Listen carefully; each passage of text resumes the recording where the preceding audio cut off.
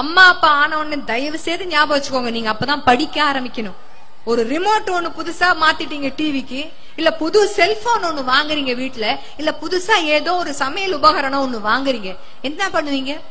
இது என்னமோ புதுசா நம்ம வீட்டுக்கு ஒரு வரவு. இதை எப்படி ஆபரேட் பண்ணணும் தான் தெரிஞ்சுக்கணும். இதை என்ன மாதிரி ஒழுங்கா உபயோகிச்சா இது வேலை செய்யுங்கிறத தான் நீங்க தெரிஞ்சுக்கணும். நான் விலை கொடுத்து வாங்கிட்டேன் நான் சொல்றத நீ கேளுனா கேட்காது. அதே மாதிரி தான் குழந்தைகளும். நம்ம வீட்டுக்கு வந்த புது வரவுன்னா இதை எப்படி அணுகுவதுன்னு நாமத்தான் படிச்சுக்கணுமே தவிர நான் சொல்றதான் நீ கேட்கணும்னா குழந்தை கேட்காது. குழந்தையை பார்த்து ஆசிரியரோ அல்லது பெற்றோர்களோ கேட்க வேண்டிய கேள்வி என்ன தெரியுமா? நீ சந்தோஷமா இருக்கியா? அதுதான் கேள்வி. நீ சந்தோஷமா இருக்கியாப்பா? அந்த கேள்வியை கேட்டு பாருங்க பார்க்கலாம். அப்படின்னா என்னன்னு கேட்பான். ஏன்னா அதுக்கு தெரியாது. நம்ம சந்தோஷம் அப்படின்ற ஒரு விஷயத்த வேற ஏதோதையோடயோ முடிச்சு போட்டு முடிச்சு போட்டு வச்சிருக்கிறோம். இந்த குழந்தைகளை சந்தோஷமாக வைத்துக் கொள்வது எப்படி?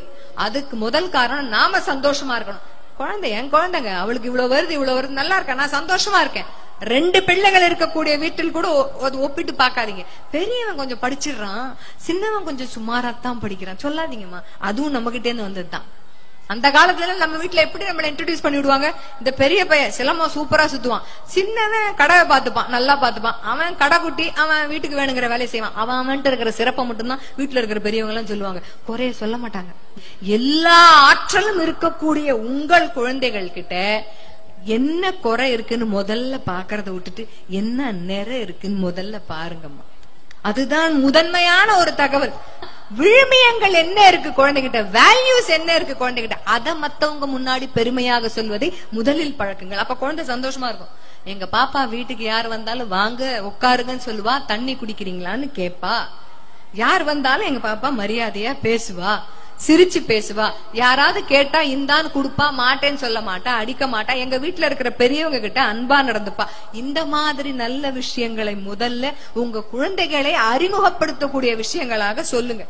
குழந்தையின் படிப்பு அது அறிவு வளர்ச்சிக்கான விஷயம் இதை எல்லாற்றையும் தாண்டி குழந்தையை சந்தோஷமாக வைத்துக் கொள்வதற்கு முதலில் பெற்றோர்கள் சந்தோஷமாக இருக்க வேண்டும். குழந்தை என்ன தோல்வி வந்தாலும் பயப்படாம அப்பா இன்னைக்கு ஃபெயில் ஆயிட்டேன் பரவாயில்லையா? சொல்லட்டுமான்னு பயப்படக்கூடாது. ஓடி வந்து சொல்லணும் ஏன்டா ஃபெயிலா போச்சு? உட்கார் பேசுவோம். சந்தோஷமா பேசுங்க. பேரண்ட்ஸ் டீச்சர்ஸ் மீட்டிங் வந்துட்டு அம்மாக்களும் அப்பாக்களும் வீட்டுக்கு போகும்போது குருட்சேத்திரமாகவே வீடு நிறைய இடத்துல மாறிடும். என்ன சொன்னாங்க தெரியுமா? உன்ன வச்சிருக்கேன் உனக்கு. அப்படின்னு ஒரு ரெண்டு மாசத்துக்கு முன்னாடி போன விஷயத்துல ரீவைண்ட் பண்ணி ரீவைண்ட் பண்ணி ரீவைண்ட் பண்ணி அந்த குழந்தையை சாடுவது உண்டு. அதனால நாம எந்த அளவிற்கு குழந்தையிடம் அணுகுமுறையை மாற்றிக் கொள்கிறோமோ லகுவானதாக தளர்த்தி கொள்கிறோமோ குழந்தை சந்தோஷமா இருக்கும். சந்தோஷமாக இருக்கக்கூடிய மனதும் சந்தோஷமாக இருக்கக்கூடிய மூளையும் மட்டும்தான் சாதனைகளை நோக்கி தானே ஓடு யாரும் அழுத்த வேணாம் யாரும் புடிச்சு தள்ளவே வேண்டாம். அவனை லகுவாகவே அணுகுங்கள். ஸ்ட்ரெஸ் வேண்டாம். ஐஐடி வரைக்கும் போயிட்டு ஒரு குழந்தை என்னால படிக்க முடியலன்னு ஸ்ட்ரெஸ்ல முட்டாள்தனமான முடிவை எடுக்கிறான்னா அந்த குழந்தைய ஏன் ஐஐடி வரைக்கும் கொண்டு போகணும்? அந்த முடிவை எடுப்பதற்கா? தேவையில்லையே. எமோஷனல் இன்டெலிஜென்ஸ் வேணும். குழந்தை சந்தோஷமா இருக்கணும். திருப்பி திருப்பி இதே வார்த்தையே சொல்லிக்கிட்டே இருக்கேன் அப்படின்னா திரும்பி திரும்பி ஒரு வார்த்தையை காதில் கேட்கும் பொழுதுதான் அது மூளையை தாண்டி மனதிலும் போய் பதியும். அதனால்தான் அந்த கோயில்கள் எல்லாம் ஸ்லோகம் போட்டதையே போட்டுக்கிட்டு இருப்பாங்க தினம். புரியுதோ இல்லையா? காதுல விழட்டும். நல்ல அதிர்வலைகளை அவை ஏற்படுத்தட்டும் அப்படிங்கிற ஒரே காரணம் தான் அதனால இன்னிலேந்து ஏன்னா இப்ப இந்த கிமு கிபி அப்படின்லாம் நம்ம சொல்லியிருப்போம் இல்லையா? அதே மாதிரி இறையன்பு ஐயா அவருடைய புஸ்தகத்துல ரொம்ப அழகா எழுதியிருப்பார். பெற்றோர்கள் எல்லாருக்குமே ரெண்டு காலங்கள் உண்டு. விமு விபி விமு அப்படின்னா விழிப்புணர்வுக்கு முன். விபின்னா விழிப்புணர்வுக்கு பின். அதனால தான் அம்மா அப்பா எல்லாம் தாத்தா பாட்டியானு ஏண்டா ஏன்டா அடிக்கிறேன் நான் தான் ஒன்னு அடிச்சுட்டேன்பாங்க அது விழிப்புணர்வுக்கு பின்.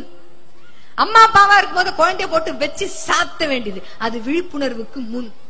ஆக மொத்தம் நமக்கே ரெண்டு பருவம் இருக்கு. இப்ப நீங்க எல்லாமே விழிப்புணர்வுக்கு முன்லேந்து லேசா நகர்ந்து விழிப்புணர்வுக்கு பின் அப்படிங்கிற எண்ணத்துக்கு போய் சேரணும். அந்த பருவத்துல தான் நீங்க இருக்கிறீங்க. அதனால் நமக்கே விழிப்புணர்வு வாழ்க்கையின் பின்பாதியில தான் வருது அப்படிங்கும்போது நம்மால் வந்த குழந்தைகளுக்கு இப்பவே வராது. வராதுன்றதுக்காக விட வேண்டாம். வர வரைக்கும் பொறுமையாக குழந்தை நாம எல்லாருமே அணுகணும். அப்ப இந்த பள்ளிக்கூட பருவத்துல இந்த மனப்பாங்க நிறைய கொடுக்க வேண்டிய பொறுப்பு பள்ளிக்கூடங்களையும் தாண்டி பள்ளிக்கூடங்களோடு சேர்ந்து பெற்றோருக்குத்தான் இருக்கிறது. வெற்றி வரும் பொழுது நாம எப்படி தலகால் தெரியாம குதிக்கிறோமோ அதே போல் தோல்வி வரும் பொழுதும் இல்லையே நான் இன்னும் சரியா செய்யல போல இருக்கேன்னு தைரியமாக அந்த தோல்வியை அணுக முடிகிறதா?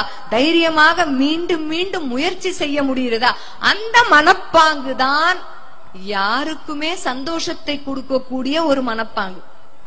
வேல்யூஸ் குழந்தைக்கு சொல்லிக் கொடுங்க.